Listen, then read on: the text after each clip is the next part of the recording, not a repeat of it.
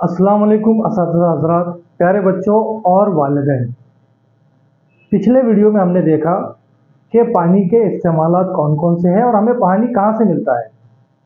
लेकिन आपको पता है क्या, अच्छी सेहत को बरकरार रखने के लिए पानी का साफ़ होना बहुत ज़रूरी है। खालिश पानी का इस्तेमाल करने से हमारी सेहत और तंदुरुस्ती बरकरार रहती है।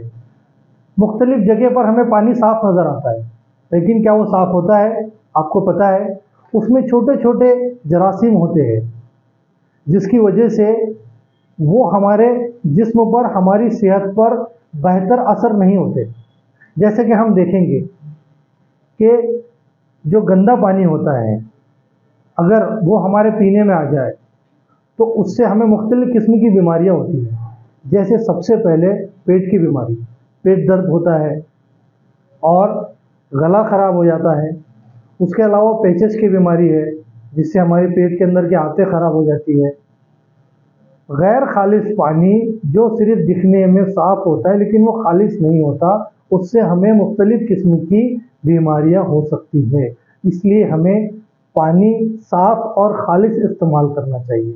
अब हम पानी को साफ़ और खालिश कैसे बनाएँ? आइए हम उसके कुछ तरीके देखते हैं। जैसा कि पहली तस्वीर में आपने देखा कि हम, हमारे घरेलू तरीकों से इस्तेमाल करके हम पानी को खालिश और साफ़ बना सकते हैं।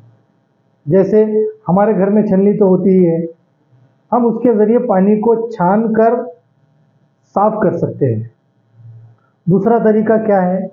हम पानी को अपने घर में गैस पर या चूल्हे पर उबाल कर उसको साफ़ कर सकते हैं। कैसे? हम जब पानी को उबालते हैं तो क्या होता है? उसमें के जो जरासीम होते हैं, जो गंदगी होती है वो पानी के उबलने के बाद या तो वो ख़त्म हो जाती है या तो भाप बनकर उड़ जाती है, जिसकी वजह से पानी साफ़ और शफाफ हो जाता है। तीसरा तरीका, फिटकरी। आपने देखा होगा फिटकरी। फिटकरी क्या होती है? फिटकरी एक किस्म की ऐसी चीज़ है जिसको अगर आप गंदे पानी में थोड़ी देर के लिए दो तीन बार घोले तो उससे पानी साफ़ हो जाता है। क्या हो जाता है? साफ़ हो जाता है। धीरे धीरे गंदा पानी नीचे बैठ जाएगा और अच्छा पानी, साफ़ पानी ऊपर आ जाएगा, जिसकी वजह से आप उस पानी को पीने के लिए इस्तेमाल कर सकते हैं। फिटकरी के भी बहुत से फ़ायदे हैं। आइंदा के फिर कभी इस वीडियो में हम देखेंगे।